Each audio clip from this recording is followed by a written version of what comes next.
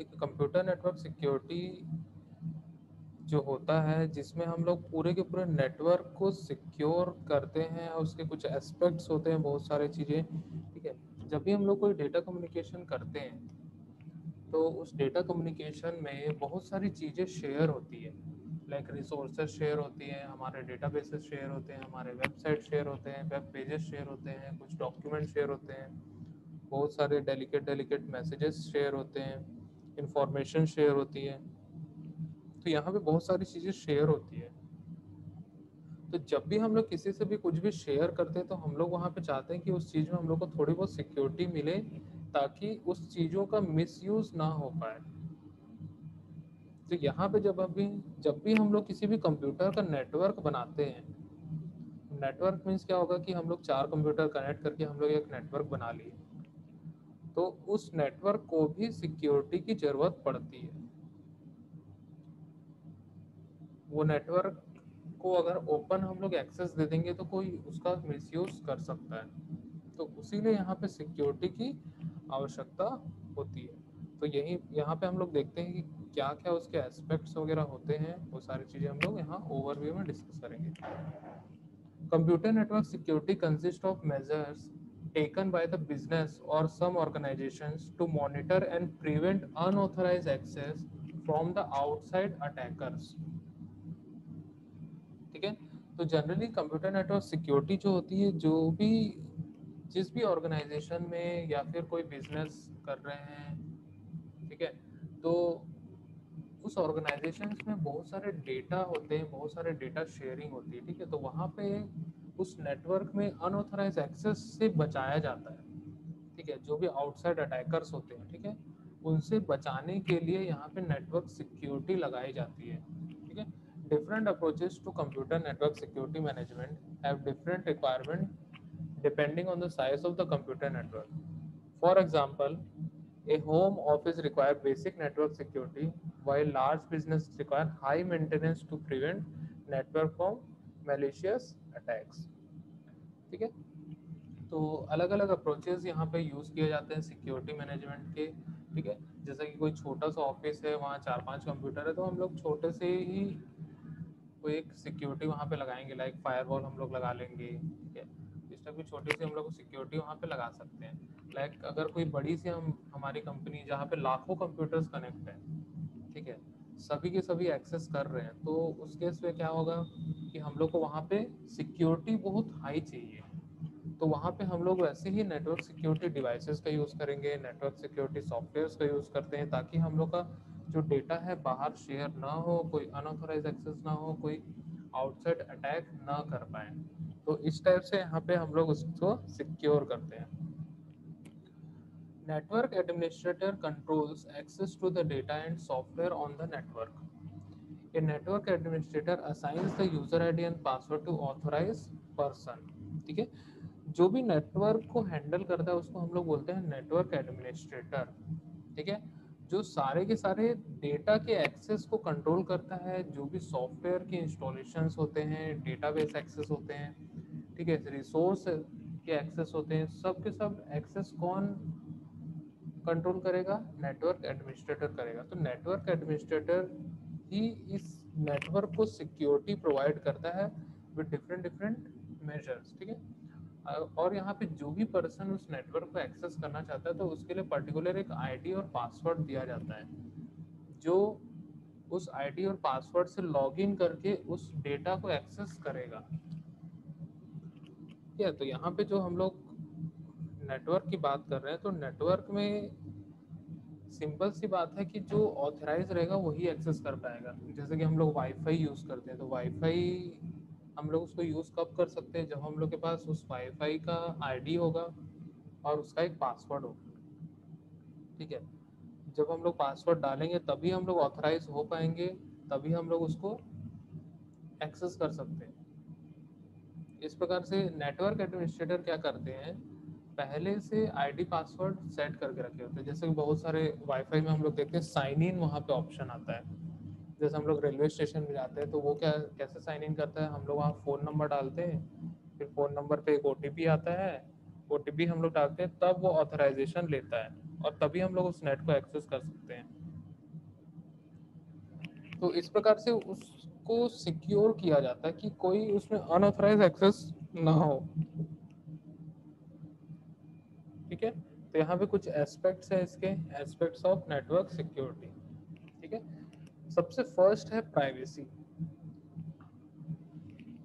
Privacy second है integrity third है authentication fourth है नॉन रेपुटेशन ठीक है? फोर टाइप के एस्पेक्ट्स यहाँ पे होते हैं. मीन्स हम लोग इसको टाइप भी बोल सकते हैं. टाइप्स ऑफ़ नेटवर्क सिक्योरिटी अब भी हम लोग इसको बोल सकते हैं। लेकिन हम लोग यहाँ पे टाइप्स नहीं बोलेंगे, यहाँ पे एस्पेक्ट्स बोलेंगे, क्योंकि नेटवर्क सिक्योरिटी के अंदर क्या क्या मेन चीज़ें हम लोग फोकस करते हैं, वो यहाँ पे दी हुई है। तो सबसे पहला प्राइवेसी होता है सेकंड होता है मैसेज इंटीग्रिटी थर्ड होता है अथेंटिकेशन फोर्थ होता है नॉन रेपुटेशन तो सबसे पहले हम लोग डिस्कस करते हैं यहाँ पे privacy privacy means both the sender and receiver expects confidentially. The transmitted message should be sent only one intended receiver while the message should be opaque for other users. Only the sender and receiver should be able to understand the transmitted message as eavesdroppers can intercept the message. Therefore, there is a requirement to encrypt the message so that the message cannot be intercepted. This aspect of confidentiality is commonly used to achieve secure communication. ठीक है? तो यहाँ पे privacy जब भी हम लोग कोई भी मैसेज सेंड करते हैं तो सेंडर और रिसीवर के बीच में प्राइवेसी मेंटेन की जाती है। प्राइवेसी मीन्स कि जो भी हम लोग मैसेज सेंड कर रहे हैं, वो सिर्फ़ और सिर्फ़ सेंडर को पता होगा, वो सिर्फ़ और सिर्फ़ सेंडर को पता होगा, और जो उसको रिसीव कर रहा है, उसको पता होगा। मीन्स दोनों के बीच में ही वो कम्युनिकेशन होगा। थर्ड पर्सन को वहाँ पे पता नहीं चल पाएगा कि क्या मैसेज हम लोग सेंड किए। तो मैसेज जो होगा, जो सेंडर और रिसीवर के बीच में भेजा जा रहा है, वो तो पूरी तरह से थर्ड पार्टीज़ के लिए थर्ड यूज़र्स के लिए ओपेक होगा। ओपेक मीन्स उसको एक्सेस नहीं मिलेगा उस मैसेज का, वो देख नहीं पाएगा, उसको पता ही नहीं चल पाएगा। ठीक है? तो जनरली जो ईव स्ट्रॉपर होते हैं ईव स्ट्रॉपर मीन्स जो कोई नेटवर्क में घुस के, ठीक है, या फिर किसी के चैट को देख के मतलब ऐसे नज़र रखते हैं उसमें। उसको बोलते हैं ईव स्ट्रॉपिंग ईव स्ट्रॉपर्स जो होते हैं, बहुत सारे होते हैं, जैसे कि गवर्नमेंट ऑफ़िस वगैरह में होते हैं। गवर्नमेंट ऑफ़िस वगैरह में क्या होते हैं कि वो नेटवर्क से क्या मेल गया, ठीक है?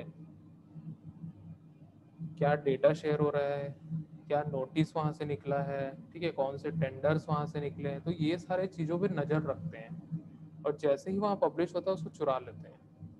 या फिर कोई सेंड किसी का ईमेल को ईमेल के ऊपर नज़र रखे हुए हैं। वहाँ से कोई ईमेल को रीड कर लिए इंफॉर्मेशन वहाँ से चुरा लिए तो ऐसा भी करते हैं।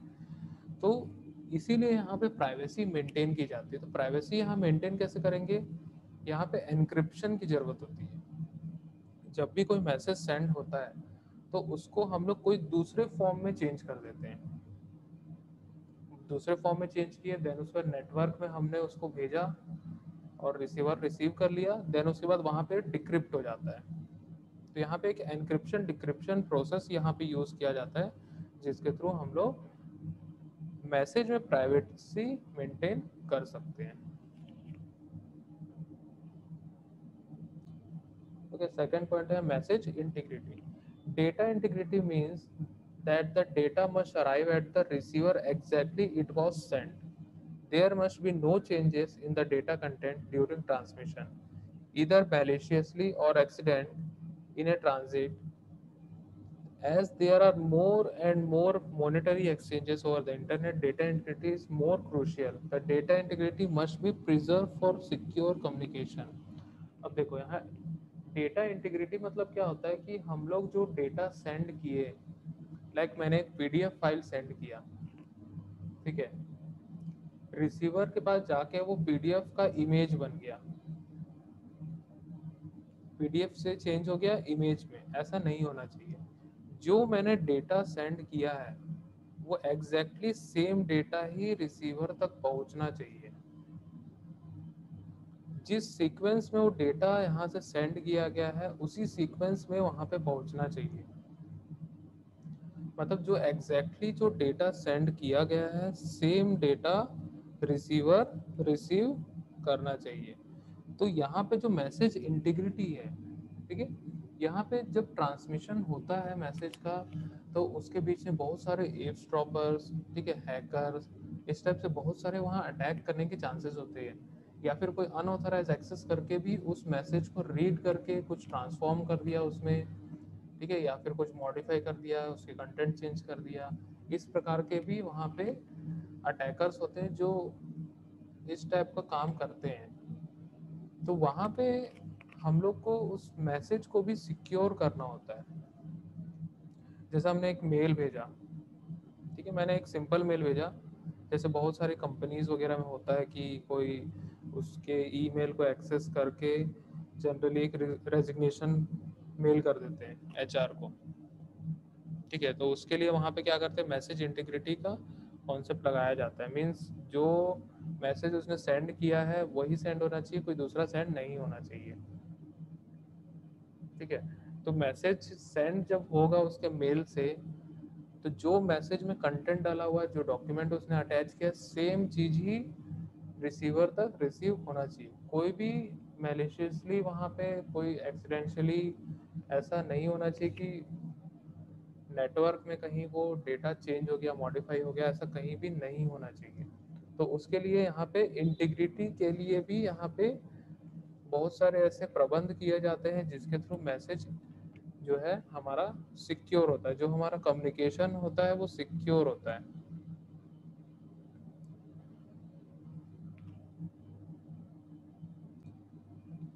endpoint authentication means that the receiver is sure of the sender's identity. That is, no imposter has sent the message. मतलब जो भी रिसीवर है, उसको पता है कि सेंडर जो है, जो मैसेज को सेंड कर रहा है, वो कौन है? मीन्स सेंडर को जानता है रिसीवर सेंडर को जानता है. मीन्स उसकी आइडेंटिटी आइडेंटिटी जो है, वो रिसीवर को पता है. कोई ऐसा फर्जी या फिर कोई भी अगर सेंड कर देता है कोई भी डेटा सेंड कर देता है हो सकता है आज के डेट में अगर मान के चलिए जैसे मेरे व्हाट्सएप में बहुत सारे लोग का ऐसे लिंक्स आते हैं अजीब अजीब टाइप के लिंक्स आते हैं लेकिन वो इंडिया का नंबर नहीं रहता है तो उसको ओपन करके नहीं देखना चाहिए कभी भी। अगर कोई भी इस प्रकार का लिंक सेंड करता है तो हो सकता है वो आ, कुछ उसमें मेलिशियस कंटेंट हो हमारा बैंक अकाउंट हैक कर सकता है हमारा मोबाइल हैक कर सकता है कुछ भी है वो कर सकता है। ठीक है? तो कोई भी ऐसा सेंडर जिसकी आइडेंटिटी हमें नहीं पता है, ठीक है, या फिर कोई ऐसा अननोन पर्सन कोई ऐसा लिंक भेज देता है, ठीक है, बहुत सारे ऐसे एडवर्टाइजमेंट्स होते हैं, हमारे जो भी हम लोग सोशल मीडिया यूज़ कर रहे हैं, या ट्विटर यूज़ कर रहे हैं फेसबुक यूज़ कर रहे हैं व्हाट्सएप यूज़ कर रहे हैं, ठीक है इवन एसएमएस में भी कुछ लिंक्स आते हैं, ठीक है, बहुत सारे प्रमोशनल एक्टिविटी होती है, उसमें कुछ कुछ लिंक्स होते हैं, हम लोग क्या करते हैं कि, अरे फ्री में मिल रहा है हम लोग उसको क्लिक करते हैं, बाद में पता चलता है कि मोबाइल हैक हो चुका है। ठीक है? या फिर हम लोग कुछ ऐसा खोलते हैं, कुछ एक फेसबुक का लिंक होता है, बाद में पता चलता है कि फेसबुक से हम लोग का कुछ कंटेंट पोस्ट हो गया ऑटोमेटिक ठीक है? तो इस टाइप के भी यहाँ पे एक्टिविटीज़ होती है। ठीक है? तो जब तक सेंडर्स की आइडेंटिटी पता नहीं होगी, तब तक रिसीवर जो है उस मैसेज को रिसीव नहीं करता। ठीक है? तो यहाँ पे जो सेंडर और रिसीवर है, दोनों का अथेंटिकेशन होना ज़रूरी है। अथेंटिकेशन मीन्स दोनों की आइडेंटिटी पता होना चाहिए, दोनों का आईपी एड्रेस पता होना चाहिए, दोनों का मैक एड्रेस पता होना चाहिए, दोनों का या तो ईमेल आईडी या फिर कुछ ऐसे डिटेल्स पता होनी चाहिए, जिससे हम लोग उसको यूनिकली आइडेंटिफाई कर पाए। ठीक है? तो यहाँ पे जो एंड पॉइंट अथेंटिकेशन है, वो सेंडर और रिसीवर दोनों के लिए होता है। ठीक है तो रिसीवर जो है श्योर होगा कि हाँ इस सेंडर की आइडेंटिटी है, तब वो रिसीव करेगा अदरवाइज़ नहीं करेगा। ओके फोर्थ पॉइंट है हम लोग का यहाँ पे non repudiation non repudiation means that the receiver must be able to prove that received message has come from specific sender the sender must not deny sending messages that he or she sent the burden of proving the identity comes on the receiver for example if a customer sends a request to transfer the money from one account to another account then the bank must have proof the customer has requested for the transaction ठीक है generally non reputation मतलब क्या होता है कि जो भी sender है अगर किसी रिसीवर को मैसेज सेंड करना चाहता है कोई भी नेटवर्क कोई भी रिसीवर मना नहीं कर सकता कि मैं इसका मैसेज को रिसीव नहीं करूँगा। ठीक है? तो रिसीवर एबल होना चाहिए उसको रिसीव करने के लिए। इधर उसकी आइडेंटिटी हो या ना हो। ठीक है? कभी भी रिसीवर जो है सेंडर की मैसेज की रिक्वेस्ट जो है उसको डिनाई नहीं कर सकता है। ठीक है उसका खंडन बिल्कुल नहीं कर सकता। अगर सेंडर चाहता है उसको सेंड करना तो वो करेगा। ठीक है? रिसीवर कभी भी मना नहीं कर सकता है। ठीक है? इसका बहुत अच्छा एग्ज़ाम्पल मैं बताता हूँ। लाइक हम लोग किसी का कॉल को ब्लॉक करते हैं, या व्हाट्सएप में ब्लॉक करते हैं फेसबुक में ब्लॉक करते हैं, ठीक है? लेकिन वो ब्लॉक मीन्स हम लोग ऐसा नहीं कि वो रिसीव नहीं हो रहा है। उसके मैसेजेस भी रिसीव होते हैं, और उसके जो पोस्ट वगैरह है, वो भी होते हैं, सब चीज़ रिसीव होते हैं। लेकिन सिर्फ़ और सिर्फ़ हम लोग को शो नहीं होता है वो। हम लोग को लगता है कि वो हमें सेंड नहीं कर पा रहा लेकिन हमें वो सेंड कर सकता है, लेकिन बस हमारे जो चैट में या फिर जैसा भी हम लोग का जो भी, जहाँ पे भी मैसेज डिस्प्ले होता है, वहाँ पे शो नहीं होता, उसको डिसेबल किया जाता है। ठीक है, जैसा व्हाट्सएप में हम लोग ब्लॉक करते हैं, किसी को भी ब्लॉक कर सकते हैं। ठीक है? तो जब ब्लॉक करते हैं तो क्या होता है? कोई भी पर्सन जैसे किसी भी सिंगल पर्सन को हमने ब्लॉक कर दिया, ठीक है? वो पर्सन हमें मैसेज सेंड नहीं कर सकता, कुछ भी चीज़ सेंड नहीं कर सकता, ठीक है? हम उसके लिए डिसेबल हो जाते हैं, हम उसके लिए डिसेबल हो जाते हैं, ठीक है? और वो हमारे लिए डिसेबल हो जाता है। दोनों एक दूसरे के लिए डिसेबल हो जाते हैं। लेकिन जिसको हमने ब्लॉक किया है वो अगर हमें मैसेज सेंड करना चाहते हैं तो वो कर सकता है।